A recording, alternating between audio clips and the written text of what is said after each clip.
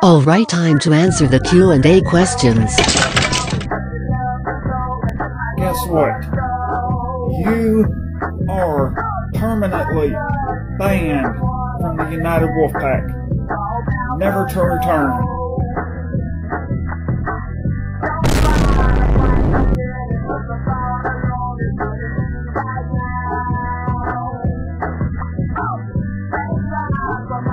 So beautiful, but damn, look at my fucking forehead.